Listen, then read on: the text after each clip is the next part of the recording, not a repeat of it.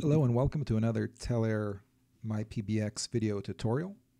In this tutorial we are going to be setting up a new IVR and let's jump right into it. Let's log into our account.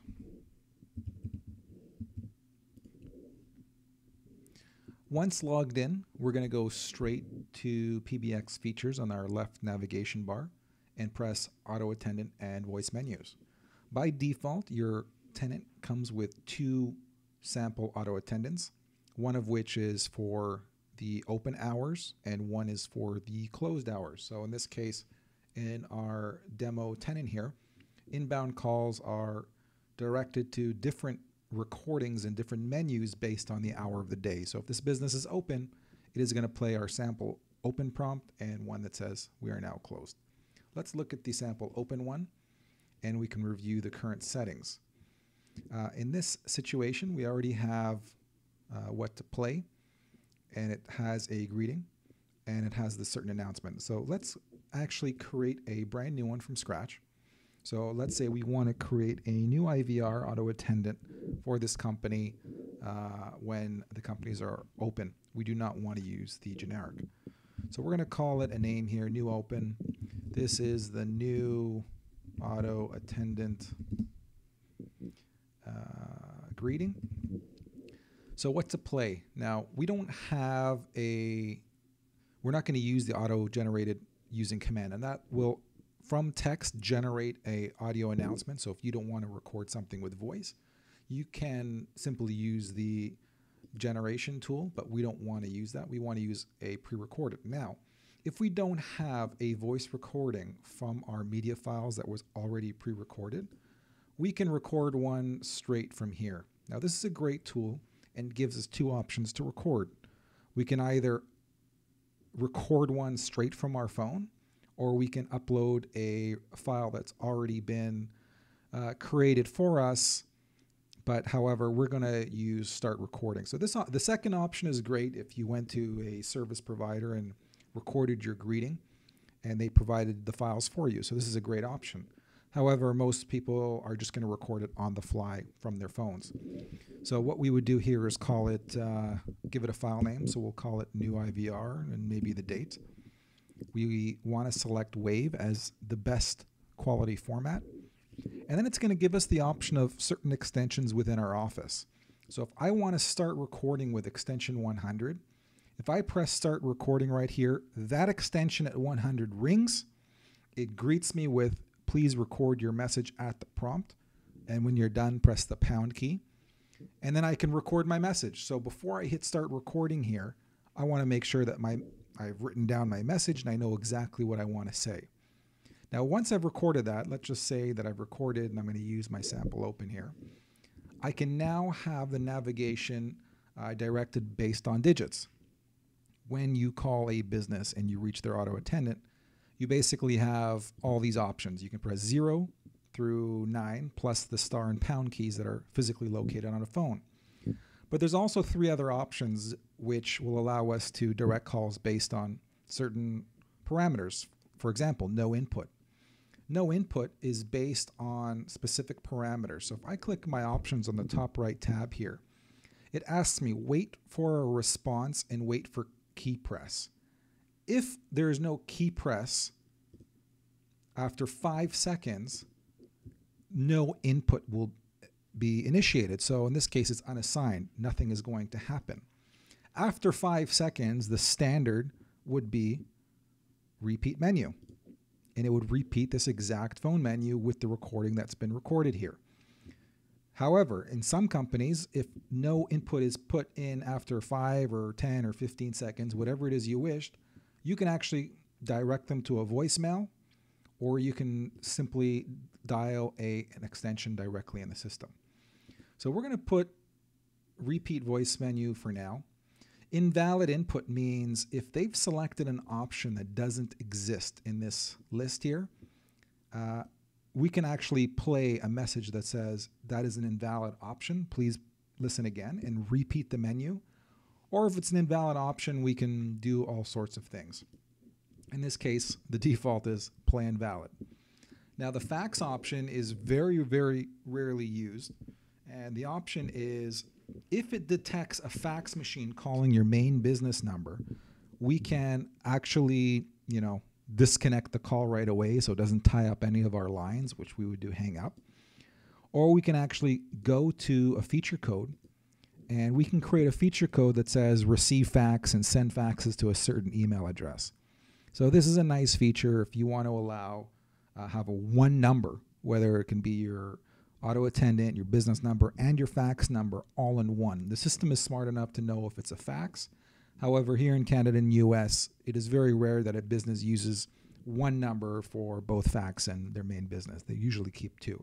So it's very rarely used, but that option is there for you. So in this case, we're going to keep it as unassigned. Option zeros typically mean go to reception. That's kind of the common standard and best practice. So we would, in this case, go dial extension, and we're going to use extension 100 as our reception. You know, 100 might be a sales group, in which case we can send them to a hunt list. Uh, and if there's no options listed, that means we haven't created that call group or hunt list or whatever that option might be. We haven't created it yet, and we can always create it and select it here later on. So if we want to come back to this, we can leave it unassigned, press save, and then create our hunt groups, and then come back into our auto attendant and voice menus, and then recreate those options. So these options that I'm allowed, I can, you know, most commonly use as dial extensions. In some cases, I want to send uh, the caller straight to voicemail. And I can do so by selecting the extension and it'll go right to their voicemail greeting. Now, I do have an option that says voicemail silent. In some cases, your announcement in the auto attendant is going to be a closed message, for example. Hi, you've reached Acmeco. We're currently closed. Please reach us during our office hours or leave a message at the tone. And after that beep, its silent message is going to uh, take you to the voicemail of whatever extension you want. So you might be at 100, but it's not going to play the greeting for that user at 100. So it's kind of a custom way to send a caller into a voicemail box without being played a greeting. So that's a little slick move that you can use with the auto attendant option and send callers to uh, a voicemail straight from your auto attendant. Now, you want sometimes you want to give your callers outside access to retrieve their voicemails. So the best way to do so is by calling in their main number and they can have an option within the menu that goes check voicemail, which my option is right over here. So that takes me to the voicemail system. It will then prompt me for my extension and my password. So this is great to giving your employees and users external voicemail access uh, for whatever reason if they're not using voicemail to email. Now, option nine is typically used for uh, company directory. Now, we have searches by last name and by first name, and this is an automatically generated menu populated by the actual user names that you've programmed in your extension list. So if you have users and you've programmed their full names by first and last, it's going to do all the heavy lifting for you. Now, the nice thing is, is when you initialize an extension by creating a voicemail, it's also going to ask you to record your name announcement. The name announcement will confirm with the user while selecting their name options within the company directory. So, for example, if I hit number nine and go into uh, this directory and searching for Mike, it's going to ask me to enter the first three letters of the first name.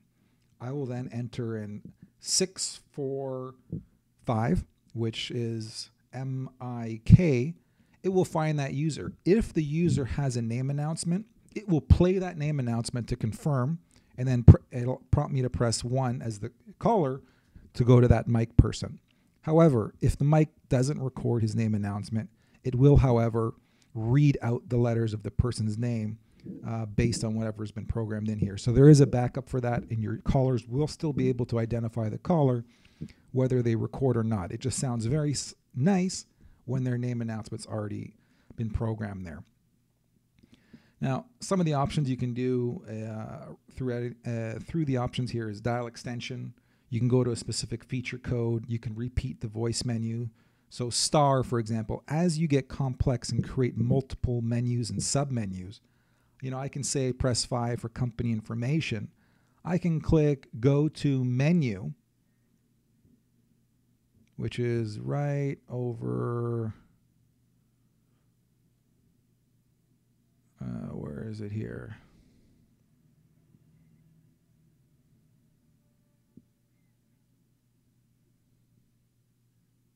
There we go. Go to voice menu. It's going to give me all the options of the save menus. Now, unfortunately, I only have two in here right now, but I could have created another one that says about menu, and I can see that option here and select it. Now, if, once I'm in that about menu, I can basically record an audio that says to go back to the main menu, press star. So if I was in that menu right now, I would program star to go to voice menu and select my original, oops, not repeat, sorry, go to voice menu and go back to my original main open menu. So that's a way that I can complex build multiple menus and there's no limit on how many you can create and it can bring me back to uh, certain voice menus. So this is a great way to set up navigation. So the star key is a great tool and it's kind of best practice and common, uh, common telecom uh, ideals to use the star key as the back key. So that is how you set up your IVR. Once you have your IVR set up, you're going to want to assign how calls and numbers get there. So if you don't have a time group, so if you don't care whether you're open or closed or specific time hours of the day, you can have all calls just go straight there. And I'll show you how to quickly do that. Uh, in the inbound routes, you can find the number that's available. If it's been assigned, you will not have the option to assign it. So in this case, we're going to go to a time-based route, and we are going to go straight to all hours of the day. This is when we can specify if it's only during open hours or closed hours. And we're going to select from the list. We want to go to IVR menu, and we will have the options here. Now you'll notice that I also have the option to prepend caller ID and name. This is great to identify uh, whoever is being reached through the auto attendant where this call came from. So for example, if this DID over here is for a sales group, I can prefix the caller ID name as sales so that when I get that call ring, I know that the number the person called was calling my sales number. And I can name it whatever I want here. I can give it one letter um, annotations or I can give it other types of descriptions depending on who they're calling. So whether it's a tech number or support, it'll prefix where that name would be, and then it would show the original person's name. Now we talk more about inbound routes and time scheduling in another tutorial video, so please check that one out, and we talk more about uh, inbound routes. So there you have it that's how you create and manage your auto attendants within the Telair MyPBX system. Thank you for watching and feel free to browse more of our tutorials from the left hand side of the YouTube channel. Thank you very much.